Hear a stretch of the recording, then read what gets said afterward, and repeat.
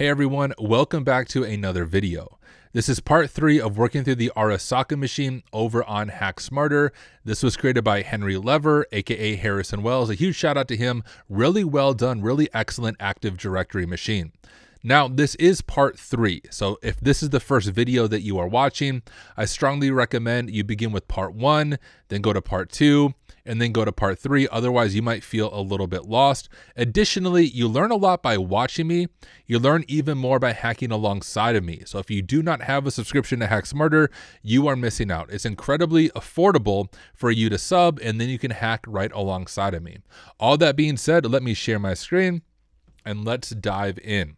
So if you remembered at the end of the previous video, we compromised this Yorinobu user, if I'm saying it correct, and we changed his password to HackSmarter123. And we verified up here that the password change was successful. He does not have any interesting access to shares, but let's continue enumerating this Yorinobu user to see what access he might have in the environment.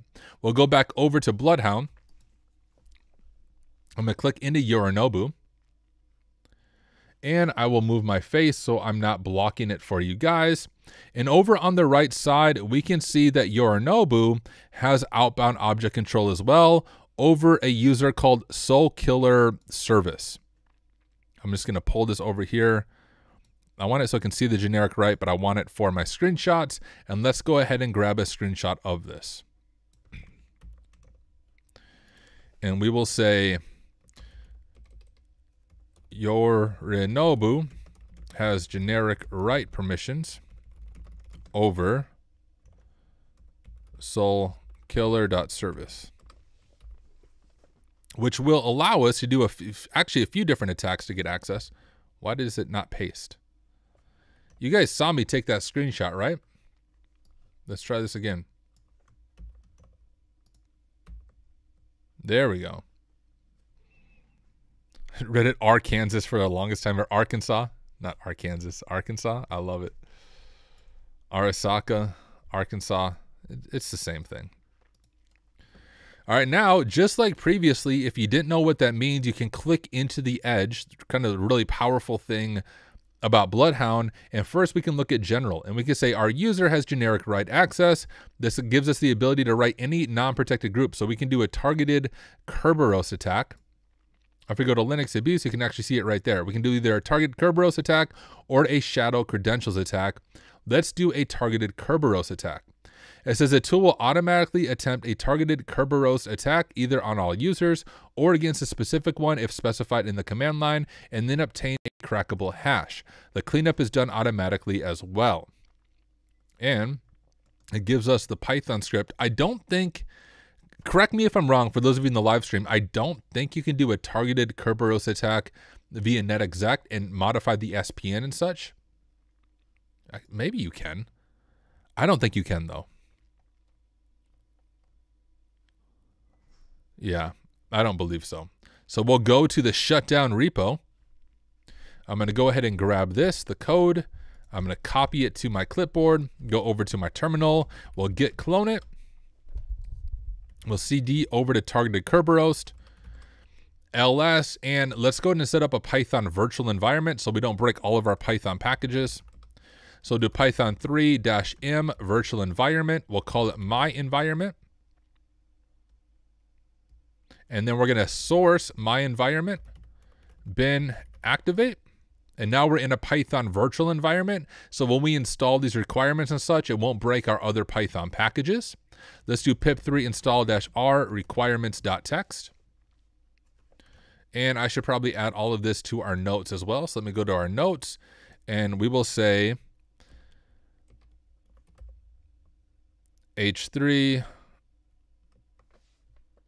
Gosh, Notion is slow for some reason for me. Targeted Kerberos attack. We get cloned right? And then we ran all those commands to set up our Python virtual environment and install all the needed packages. So I'll just copy that.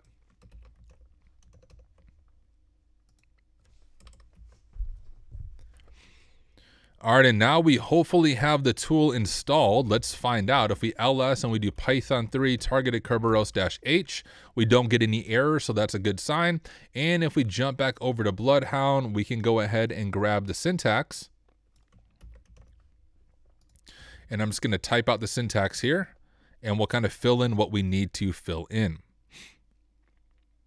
Targeted Kerberos, well, our domain is going to be hacksmarter.local. Our controlled user is going to be, uh, who is our controlled user again? I've compromised too many users. Yorinobu. Yorinobu, and Yorinobu's password is, is that the one we reset? Hacksmarter123. And then we want to specify the user that we compromised, which it says we can pass it on the command line.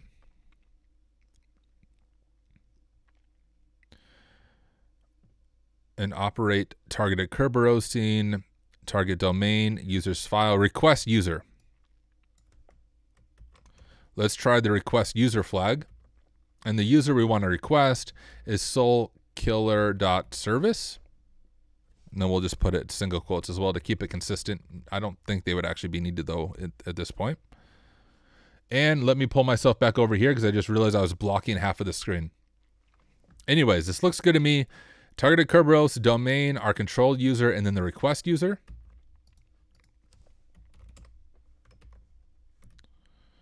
Run it with Python 3. Boom.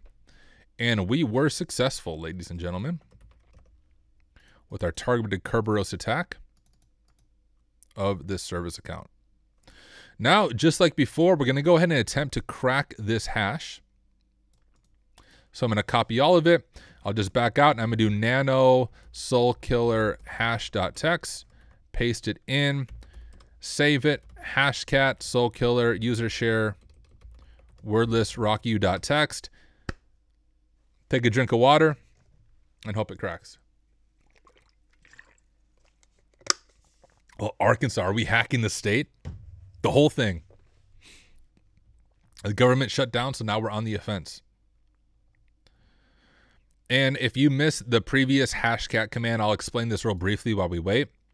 Hashcat, if you've never used it, is a tool for cracking password hashes. I explained Kerberosing in the previous video, but the TLDR is we were able to update the service principal name, which allows us to pull down the target users, or in this case, a service account, it's a ticket, a Kerberosing ticket that is encrypted with the user's hash. And because we have the ticket encrypted with the user's hash, we can then try to crack the hash offline and retrieve the user's clear text password, which is exactly what we're doing with this command right here with hashcat, specifying the target hash, and then rockyou.txt is a password wordless with a bunch of different passwords, and then we're gonna see if we can crack the user's hash. And you can see we were able to. We have the user's hash right there. So let's add all of that to our notes. We'll say cracking the user's hash. I'm going to grab the syntax for our hashcat command. And then the user's hash was some weird my password thing. Pretty secure password there. We got even a hashtag at the end. Wow. All right, let's see if that actually works for our user. We'll do netexec smb. And instead of Yorinobu, we're going to do Soul Killer or something. Soulkiller.service, I think. Yeah, soulkiller.service. And then I'm just going to copy this password because I'm going to type it wrong. We'll go to this user's password and let's just see if authentication is successful.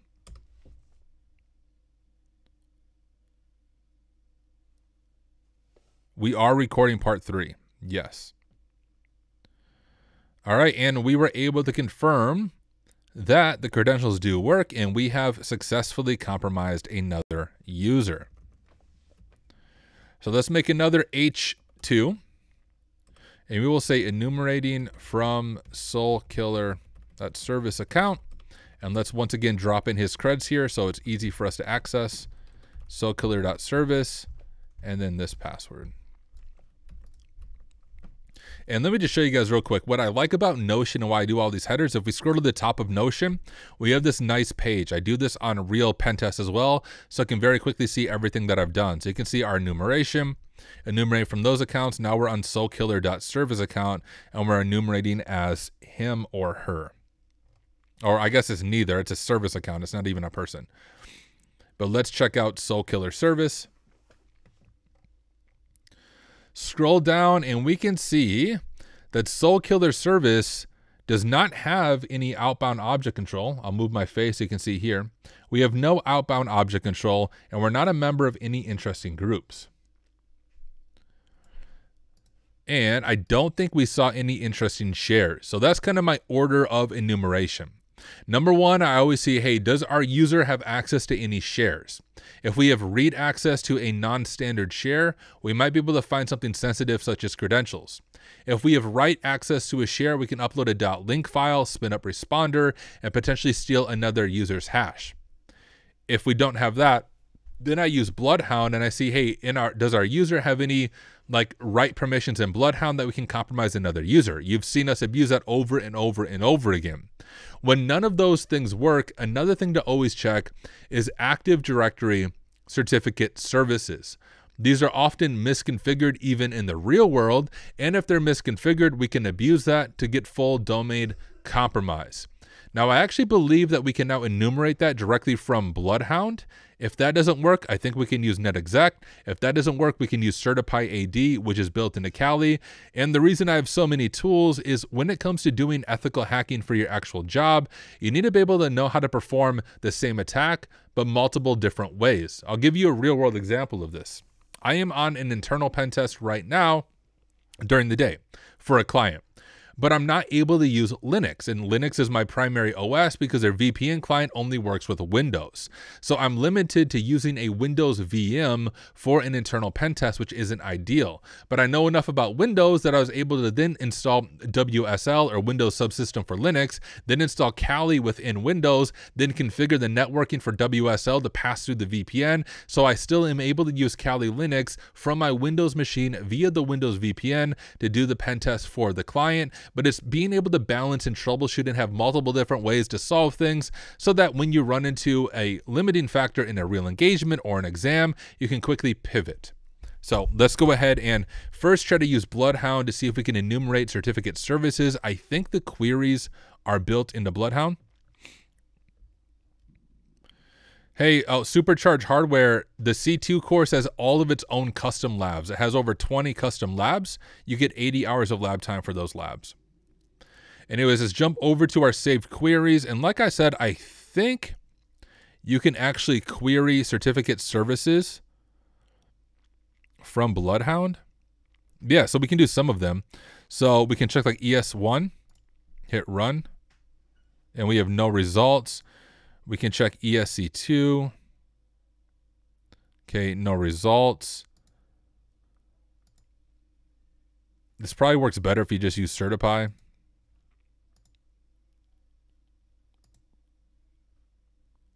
Um,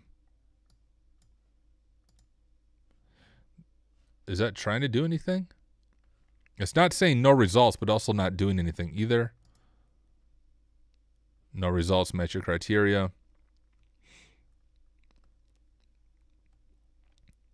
All right, uh, let's try NetExec. I've never actually used NetExec to query for certificate services. I always use Certify AD, but I think NetExec has the functionality. And I'm just curious how it works. Is it only only one of them? Can you only check ESC8 with NetExec? Oh, Harrison Wells says it only works if you already have certificate data, which I think only comes from SharpHound. That makes sense. All right, let's go ahead and use Certify AD because that's the one I'm most familiar with. We go to this terminal here. Uh, Certify AD is actually built into Kali Linux. You don't have to install it, but I still forget the syntax for it all the time. And that's the thing I try to remind people. It's not super important to remember syntax for tools. It's important to know when to use the tool, but you can always look up the syntax. And Certify actually has a really good Wikipedia, not Wikipedia, but wiki that gives you syntax as well as how to abuse each one of the different certificate service vulnerabilities. So if we look at our Certipy wiki, we can go to usage and it will give you an example right here, but I think we want to do, I think it's dash vulnerable to only show the vulnerable ones. So let's go ahead and do this. We'll do certipy ad find dash u uh, soul killer dot service at hacksmarter dot local dash p. I don't remember the user's password.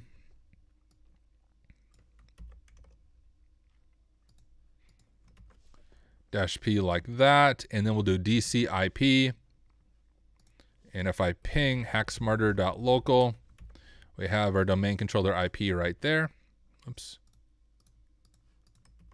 Domain IP. We can do text enabled uh, hide admins and then dash vulnerable to only show the vulnerable certificate services and hit enter. I may have messed up the syntax there. We will find out. But right now it's enumerating these different ones.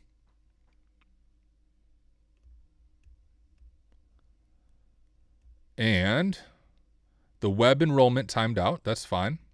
May not have web enrollment. Okay, and it saved a text file. If we ls, we can see our text file right here. And you can actually see this right here for our current user. It is vulnerable to ESC1. It says enrollee supply subject and template allows client authentication.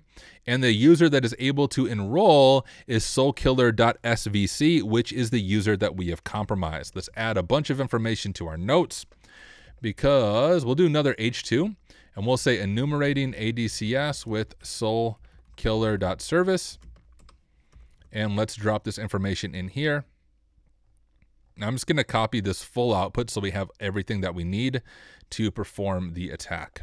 Well, you know what? I need to show the syntax. Like how did I how did I actually get this information? Let's grab this for our notes first and show our syntax. So if we're on an exam later on, we can remember how we've done this in the past. And then I'll copy the full output.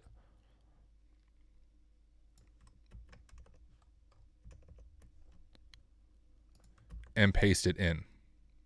totally following you, Tyler. Oh man.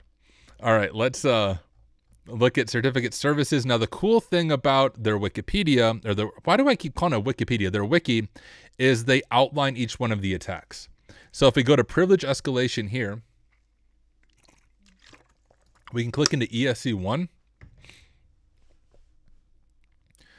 And it is the stereotypical ADCS misconfiguration that can lead directly to PrivS. The vulnerability arises when a certificate template is inadequately secured, permitting a low privilege user, that's us, to request a certificate and importantly specify an arbitrary identity such as a domain admin within the certificate's SAN. This allows the attacker to impersonate any user, including administrators. So we can impersonate a domain admin. And so we've already identified it. And now it says how to exploit with Certipy. It involves two main steps. We're going to request a certificate using the vulnerable template, and then we're going to use the obtain certificate to authenticate as the user. So it says attacker, blah, blah, blah, uses this syntax. I'm just going to copy all of this right here. And well, we'll read through it first. So we're going to, of course, request a certificate. We should see the expected output snippet. We can authenticate using the obtained certificate. The attacker now uses the generated administrator.pfx file with certipy auth, and then we have the expected um, output, and then we can authenticate, of course, with that. And then we have some mitigation information. But you know what would be good? What would be good is for you to try this on your own. I'm looking over the time. We're at about the 20 minute mark again on this recording for part three. Part four, we're just going to abuse the certificate service. But I really do want you to try this. You're going to learn a lot just by stumbling around. So you may not be able to figure it out right away, but I want you to try this. I've showed you the syntax. There's a few things you have to figure out, like the SID, but I believe in you. I believe you can do it. So here's what we're going to do. I'm going to conclude this part three of working through the Arasaka machine but I want you to try to abuse ESC1 and get domain admin. If you're not able to do it, that's totally fine. Join me in the next video, and it'll be a shorter video where I walk you through this specific attack path. But try it on your own first and see how far you can get, and then join me and we'll work through it together. So, hey, thank you for watching. Good luck. Happy hacking.